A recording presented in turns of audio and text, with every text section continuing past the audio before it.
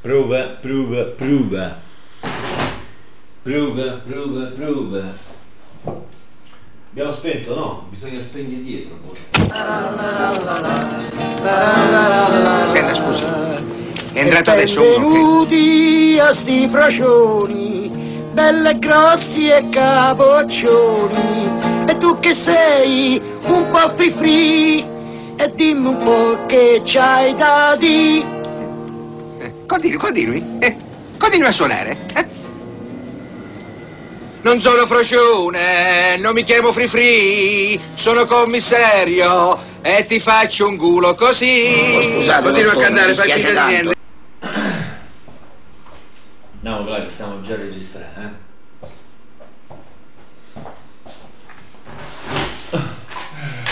Fatti più qua, vieni un po' più qua. Avvicinati. Bravo. Allora. Noi intanto continuiamo ad adottare bottiglie di vino. Eh?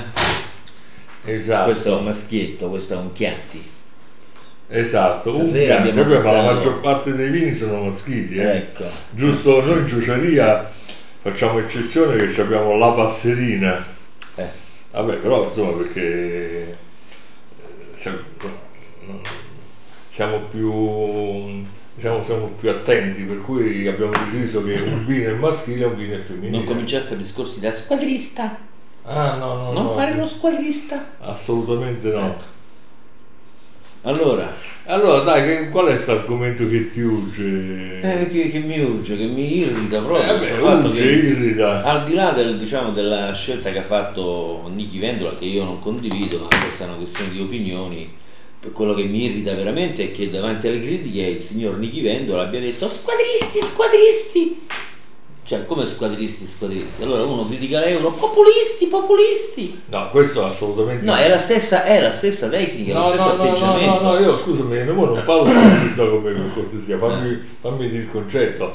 Sì. C'è un Nichi Vendola che è un professionista della politica, non si può permettere, non è un signore qualunque che a un certo punto viene violata, tra virgolette o senza virgolette, la sua vita privata e quindi... Eh, Ma stiamo- che violato? Lui ha detto che lo ha fatto come provocazione capito. creativa. Oh, oh, esatto. Oh, quindi, E dire, quindi- se la fai quindi- come provocazione poi devi rispondere. Oh, quindi il compito principale e invece lui che risponde, risponde squadrista, squadrista. Lorenzo, stiamo scusa. dicendo la meme shows appunto che Vendola non se lo può assolutamente permettere può ricevere delle critiche anche assurde non, è questo il caso. Qualunque tipo di critica lui è tenuto è pagato è stato profumatamente pagato nel corso degli anni e continuerà ad esserlo per rispondere per dare spiegazioni. Quindi è inutile che che e la- e sa benissimo che il confine tra la, la vita privata e la vita pubblica non esiste. A maggior ragione lui addirittura questo confine è lui che dice che non lo... Sì, no, io sul fatto che non esista questo confine non sono d'accordo. Per un politico come... Ma secondo me non è- questa cosa non è assolutamente vera, perché se lui avesse fatto questa cosa in privato, senza, l'ha, dichiarata come una provocazione, è lui che l'ha trasformata in un fatto politico.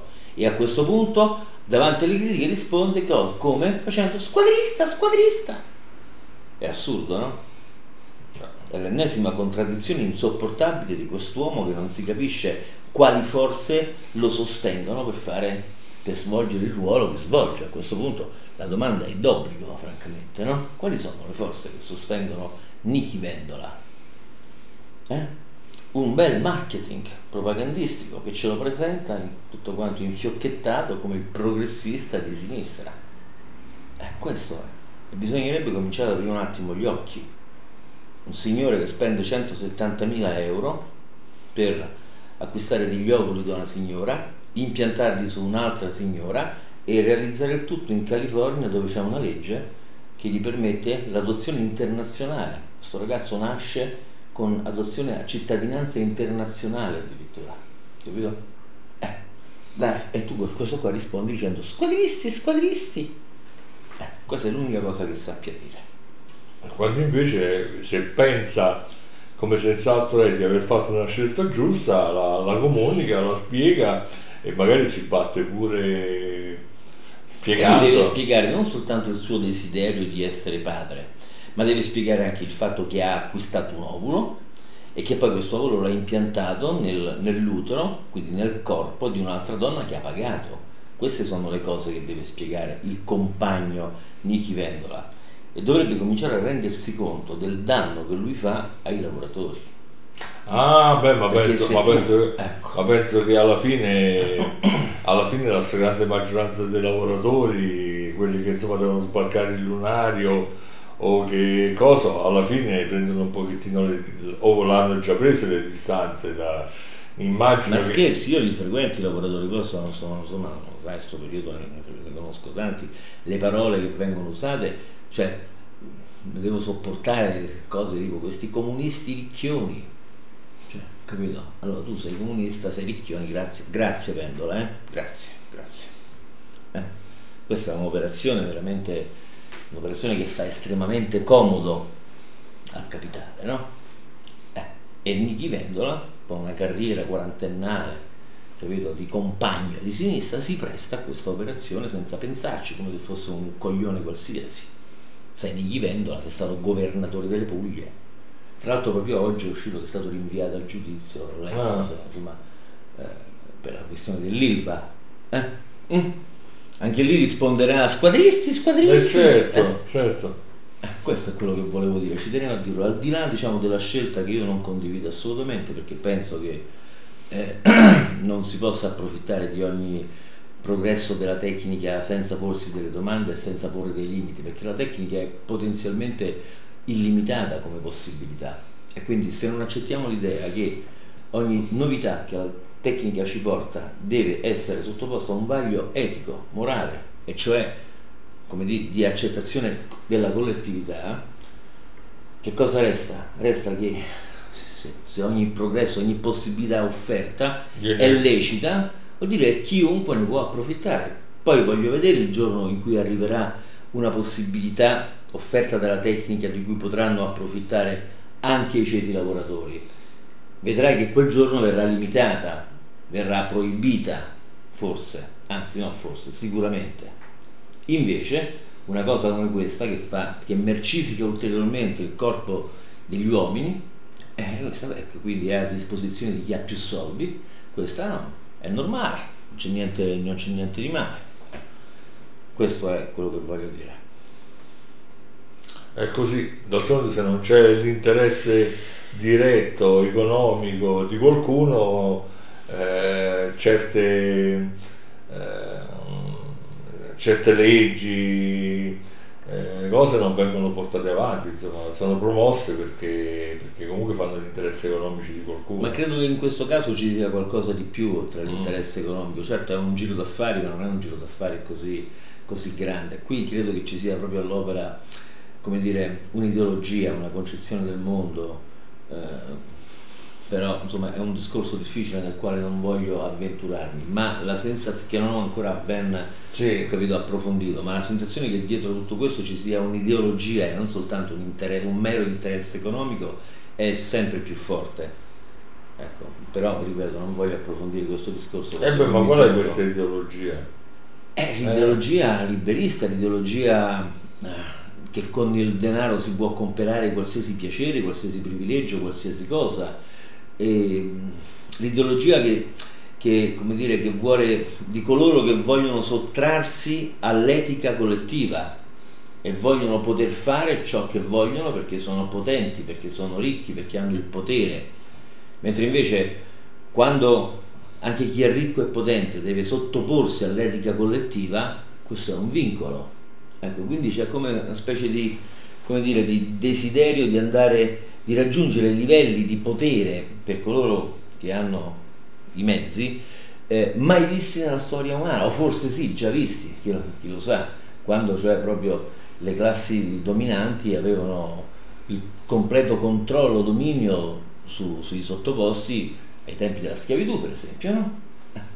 Poi bisogna vedere se si arrivava ai livelli di oggi, perché che, ne sappiamo, forse anche la condizione di schiavo era in qualche modo regolamentata. Quindi è un discorso difficile, Claudio, però ripeto, secondo me c'è un elemento ideologico perché altrimenti non riesco a spiegarmi questa furia, questa violenza e rapidità nel cambiamento. Io sono un uomo che quando ero giovane, nel mio paesello, Mhm. discutevo con i miei amici se, si- se fosse eh, cosa opportuna, sposare una donna che non fosse più vergine. Eh, ovviamente io dicevo sì, non c'è, non c'è problema, eh, capito? E i miei amici dicevano no, io mai mi sposerei con una che non è più vergine. Oggi io più o meno mantengo le idee che avevo quando avevo 16-17 anni, all'epoca ero un progressista, oggi sono diventato un retrivo reazionario. I miei amici che non volevano sposare una donna che non fosse vergine adesso applaudono, capito, alle unioni civili, la stepchild adoption e via dicendo. I tempi sono stato superato a sinistra dai tempi, capito? Sono diventato un reazionario, incredibile. Vabbè, ma magari la stessa cosa l'avrebbero, lo dicevano quelli che tu dedicavi a loro quando eri giovane come quelli di adesso, dai, cioè, eh, cioè? cioè voglio dire che, la, che magari la stessa eh, la, la, stessa amarezza per il fatto, come dici tu, che sei stato scavalcato. Di essere stati scavalcati a, sinistra. sinistra. Eh no, ma vedi qua tu denunci questa, tua, questa frase questo, che appena Questo detto. qualunquismo. No, non è qualunquismo, denunci, denunci il fatto che tu hai una visione del progresso unidirezionale, mm. capito? Per cui epoca dopo epoca il progresso va avanti e quelli che rimangono indietro capito, si lamentano come dei vecchi babbioni del fatto sì, che... Sì, no, hai sintetizzato bene, oh, giusto o sbagliato, eh, comunque hai sintetizzato bene il mio pensiero. Eh, quindi sei un, come dire, un progressista, sei. No, ma no, progressista lo stai dicendo tu, diciamo che le cose si, si, modificano in questa maniera, poi se sia un progresso o un regresso io francamente... Vabbè, insomma, progressista nel senso che la storia so. ha una sì, direzione. Sì, sì, nel senso che, che eh. c'è una, una progressione, una, un andare avanti, poi non si capisce se la, la, direzione è verso qualcosa di buono o verso qualcosa di cattivo, di cattivo. Diciamo che va verso c'ha un, una direzione. Ho capito, invece io penso che la storia segua un percorso frattalico, casuale, ah. cioè una traiettoria eh, senza senso per l'uomo. Poi magari se, se, un senso ce l'ha ci vuole una mente superiore, qualcuno dall'esterno, ma per l'uomo che non può vedere se stesso dall'esterno, la storia non è né ciclica né unidirezionale, ma un percorso caotico. Questo è il mio punto di vista e quindi siccome è un percorso caotico, passo dopo passo bisogna lottare per portarla in uno o nell'altra o nell'altra ancora direzione. Va bene. Va bene, dai. Signori, vabbè, vabbè, mo, certo, se ci fai la battuta finale. No, dai. no, se ci mettiamo a fare della filosofia della storia, certo le cose si ingarbugliano, anche eh. perché anche perché c'è chi sostiene che non sia proprio possibile una filosofia della storia quindi quello che ho detto della esatto, esatto sì, sì, no, no, ma voglio dire forse non ci siamo capiti ma io sono convinto della stessa, della stessa medesima cosa insomma alla fine esistono una serie di accadimenti che, che è già difficile circoscrivere gli accadimenti. E poi c'è la ricostruzione fatta a posteriori e, e quella è la storia. Infatti non, non vorrei dire un, è una, quella che ha fatto Vendola una ricostruzione una, a posteriori. una sciocchezza eh. no nemmeno eh no eh no. Diciamo, era una battuta sì vera, certo. vera, bravo diciamo una battutaccia ma no ma invece è una battutaccia che comunque non regge perché lui nemmeno qualcosa del genere ha fatto. Insomma certo. quanto ho capito cioè diciamo che probabilmente eh, cose di questo genere Almodovar le racconta no? in, in, uno de, o in uno o in più dei suoi film eh, in cui infatti c'è una, una, un film che adesso non mi ricordo come si intitola che una, parla di una coppia di di, di, di, di, lesbiche e una delle due non cioè... avevi paura a pronunciare parole no no no no è che eh, no perché c'hai un po' paura lesbiche lesbiche no no eh, figurati no no, no. No, e no. vabbè, diciamo, diciamo gay di sesso femminile, vabbè, vabbè lesbiche, vabbè dai. Mm. Allora, insomma, il, in questo film di Almodovar a un certo punto una delle due donne, quella diciamo più caruccia o perlomeno che rientra di più nel, nei tuoi canoni, nei canoni dei maschi, no, nei canoni dei maschi a un certo punto seduce e si fa ingravidare da, da un maschio, è chiaro. Però insomma, perlomeno diciamo che comunque voglio dire, ammesso che esista la categoria della natura, eh, della naturalità, della naturalezza, chiamalo come ti pare, insomma ci siamo, però certo qua siamo a livello proprio di, di laboratorio scientifico. Insomma, Senti Claudio, ma secondo te i froci e le lesbiche in percentuali, in percentuale quanti sono? Quella che è la tua percezione? Ah, diciamo praticanti che io secondo te, nella- sull'intera popolazione i froci e le lesbiche Boh, non, non ne ho la minima idea sinceramente, potrebbe essere alta la percentuale, bassa. Ma dovresti domandare una cosa prima, in base a cosa si definisce un frocio o una lesbica? Eh, eh, beh, certo. Eh no, eh no, Me- è me- importante. Me l'hai tolto, Allora, nell'età della me, me smania, l'hai tolto di bocca, la, la frase è un po' ambigua. nell'età della smania, Ah. quando si è giovani, Della smania. della smania, non lo sai, smanioso. Oh, un no? anno, un dieci anni fa parlavo di un altro Spagna. Esatto. Penso che mi sono cambiati i tempi. Eh.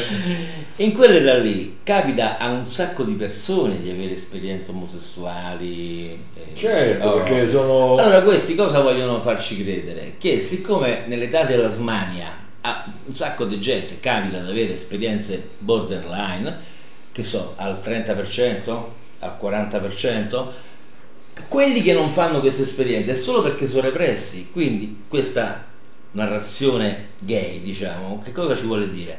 Che la sessualità è una cosa fluida, Mhm. che in realtà è la pressione sociale che determina questa rigidità, perché altrimenti tutti saremmo bisessuali. Questo è quello che ci vogliono raccontare, capito?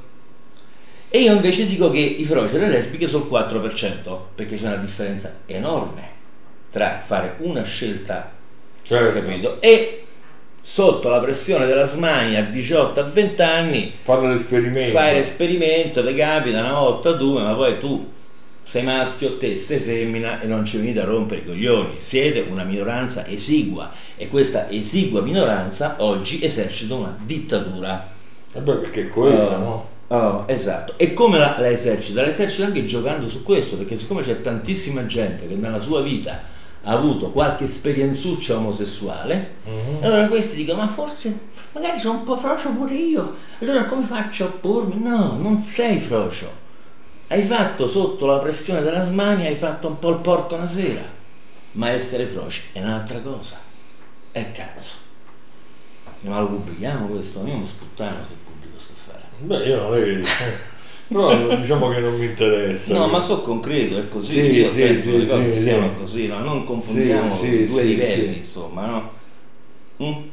Vabbè. Vabbè, insomma, noi ci possiamo permettere di dire anche stupidaggini perché tanto. non- Oh, e fai cresciamolo bene sto bambino, no? Eh, L'abbiamo eh. adottato, mo che diamine. Cioè, non è vogliamo che- trascurare. Non è che se domani ci convincono che abbiamo detto stupidaggini, noi non siamo capaci di, di ammetterlo, di cioè, ammetterlo. mica diciamo squadristi, squadristi. Eh, esatto, eh. Quindi eh, tranquillamente a cuor leggero ascolto codeste tue opinioni espresse hic et nunc. Va bene. Eh, eh, Hic et nunc, hic et nunc Hic et nunc, però voglio soltanto far notare in maniera, nella maniera cotata che mi caratterizza che il mio ruolo è molto passivo eh, questo, cioè mi sto limitando ad ascoltare, eh. no, no, no, no, ci tengo, ci tengo a dire. Vabbè. Va bene, ok allora, buonanotte sogni d'oro, che, che dobbiamo dire?